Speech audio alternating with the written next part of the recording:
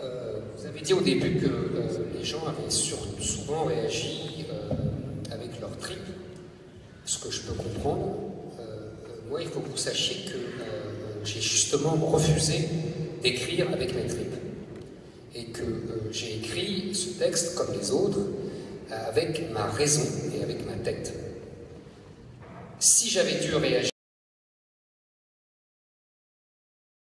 facile, Mes familles vient d'Algérie. En 1940, le régime de Vichy a supprimé le décret Crémieux et je n'étais plus français à partir de ce moment-là.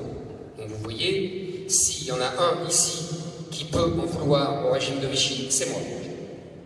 Ça, c'est une première chose. Donc c'est bien pour ça que j'ai raisonné le plus froidement possible, le plus factuellement, et il faudrait, et je crois que subissez pas ce genre de critique, euh, ne pas tomber euh, dans le euh, sentimentalisme habituel et le fait que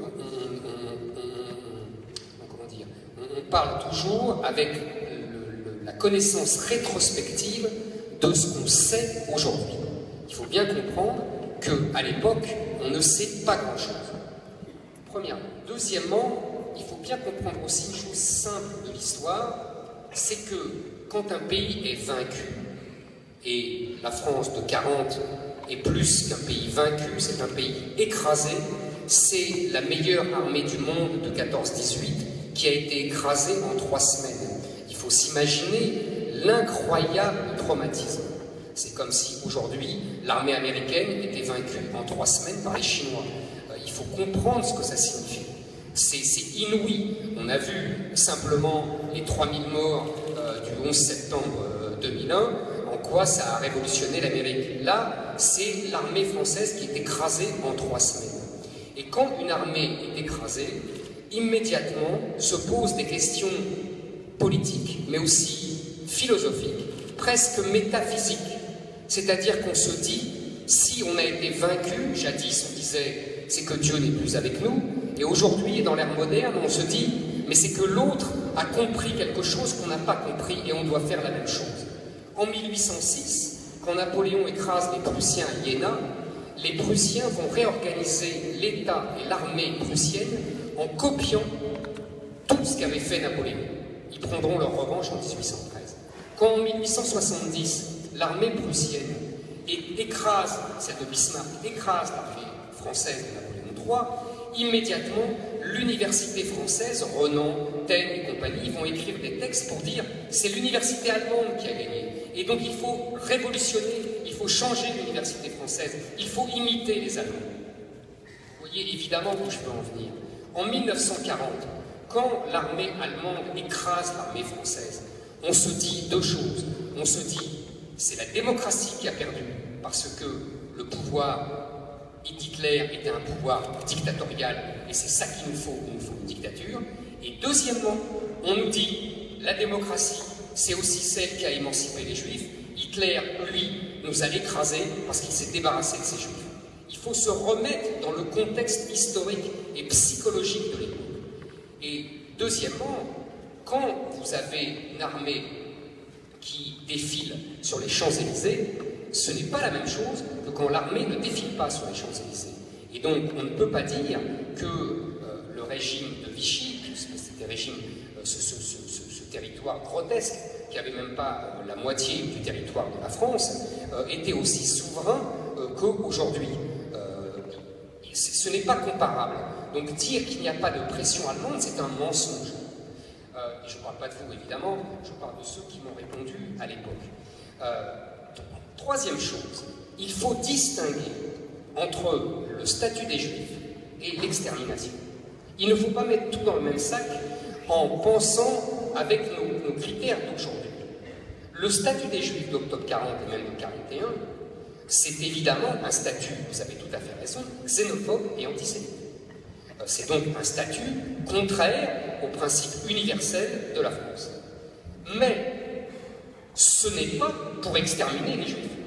C'est qu'à l'époque, on estime que les juifs ont pris trop de pouvoir, qu'ils ont trop de puissance, qu'ils dominent excessivement l'économie, les médias, la culture française, comme d'ailleurs en Allemagne et en Europe, et d'ailleurs c'est en partie vrai, c'est-à-dire que depuis la, révolution industrielle de 1870, je vous renvoie à ce livre extraordinaire qui s'appelle Le siècle juif d'un auteur russo-américain et qui explique très bien l'incroyable puissance des juifs français, des juifs euh, américains, des juifs allemands et des juifs anglais.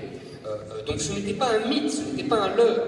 Et il y avait des Français qui trouvaient ça formidable parce que c'était pour le bien de la France, ils avaient bien raison, et il y avait des Français qui trouvaient que les Juifs se comportaient avec une arrogance de colonisateurs. C'est ça les mots qui étaient employés à l'époque. Il faut tout ça se remettre le contexte.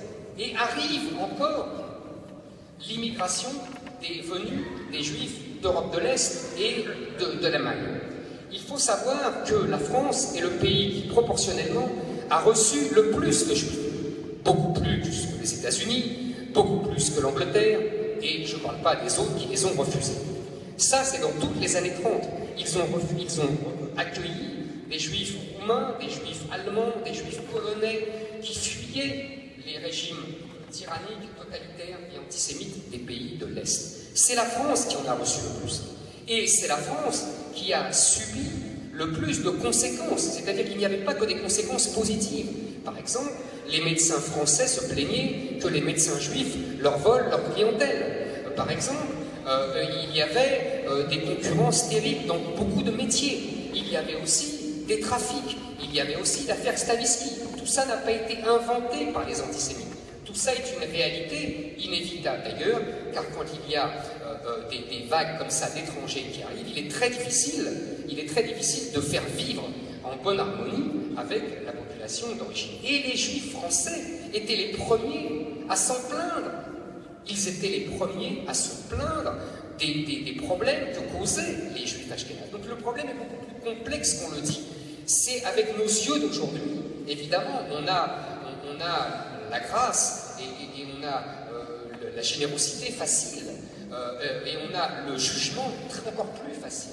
C'était beaucoup plus compliqué à l'époque. Il faut comprendre enfin que à l'époque, encore une fois, le sort des Juifs n'intéresse personne. C'est-à-dire que, euh, vous savez, le mot déporté en 42, il ne signifie pas déporté à Auschwitz, il signifie déporté au STO. C'est ça pour les Français à l'époque. Les déportés, c'est les jeunes qui vont au STO. Euh, il faut jamais oublier que il ne peut pas d'ailleurs y avoir penser l'extermination, puisque les Allemands eux-mêmes, en octobre 40, ne savent pas qu'ils vont exterminer les Juifs.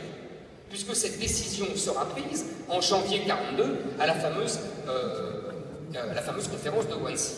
Donc évidemment, je ne dis pas qu'avant il n'y a pas eu de persécution, je ne dis pas qu'avant il n'y a pas eu de massacre, mais euh, si vous lisez euh, le livre, le roman Caput de Malaparte sur l'avance allemande en Russie, verrez que les massacres ne concernaient pas que les juifs, et que les massacres de Russes étaient absolument innommables. Euh, donc les Allemands se sont comportés comme des barbares pendant deux ans partout où ils sont passés. Ils ont massacré et ils ont exterminé partout. L'extermination industrielle, qu'on appelle le génocide, la Shoah, etc., n'a été décidée qu'en janvier 1942, et elle n'est pas connue, elle n'est pas connue des dirigeants français avant la rafle du 20. Il faut bien comprendre ça. Tout ça est connu. Le général de Gaulle, dans ses mémoires, ne parle pas de l'extermination des Juifs. Churchill. S'il vous plaît, vous laissez Eric Zemmour terminer, s'il vous plaît. Churchill. On écoute. Churchill, dans ses mémoires, ne parle pas de l'extermination des Juifs. Quand, quand vous dites un affrontement entre les deux résistances, vous prêtez cette phrase. Ce n'est pas moi qui le dis c'est le général de Gaulle. Je cite le général de Gaulle qui le dit à Mauriac en 1945 et qui dit il y avait deux résistances, la nôtre, il parle à Mauriac, il veut dire de Gaulle et Mauriac, il veut dire les Français libres, il veut dire ce 2 juin 40. Il faudrait d'ailleurs, ça vous intéresserait, lire les témoignages des, euh, des, Français libres de 40, qui sont pour la plupart très remontés contre les Juifs, très remontés contre l'influence juive qu'ils estiment néfaste par rapport et qui a, préparé la défaite française. Hein, il faut, j'aimerais bien voir ça, ça serait très intéressant, mais c'est très connu. Donc il y a cette résistance nationale, et il y a la résistance anti-vichiste, née avec les communistes et née avec la gauche, naît à partir de 42 et qui n'a rien à voir avec la, résistance nationale. Et c'est cette résistance euh, de gauche, anti-vichiste, qui sera euh, portée bien plus tard dans le travail de mémoire d'un Klarsfeld et d'un Paxton. Parce que, vous citiez Paxton, mais euh, Paxton ne comprend rien à la France. Paxton règle des comptes américains. Paxton croit que Vichy, il l'a dit à l'historien le roi Ladurie, il croit que Vichy, c'est les, sudistes américains.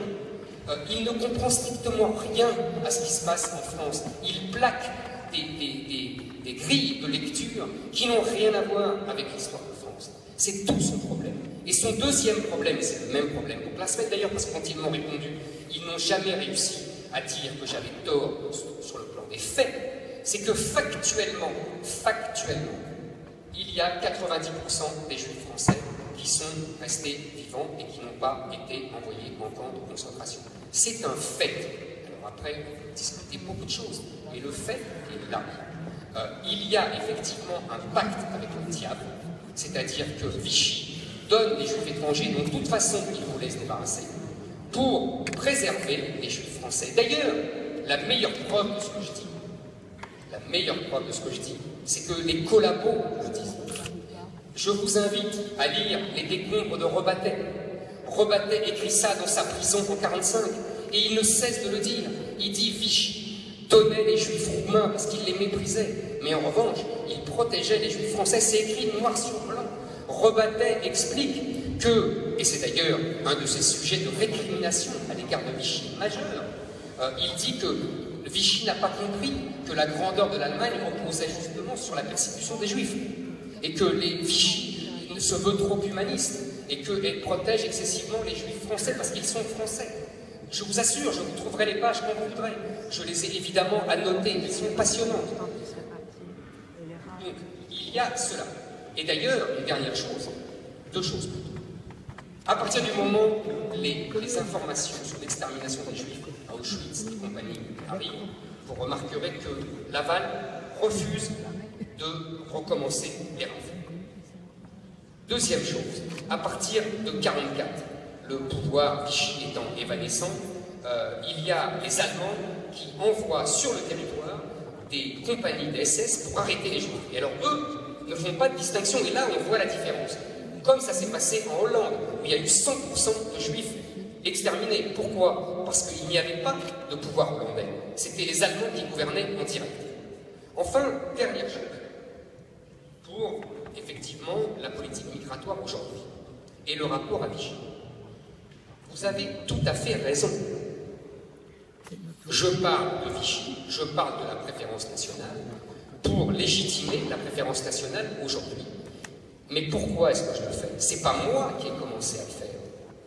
C'est pas moi qui ai défilé en pyjama rayé à la gare de Lyon de Saint-Lazare du Nord quand on renvoyait dix migrants clandestins. Ce n'est pas moi, monsieur C'est la gauche bien pensante.